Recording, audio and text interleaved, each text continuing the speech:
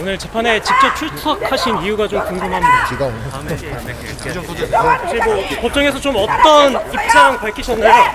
노선과 달라는 내용가 있을까요?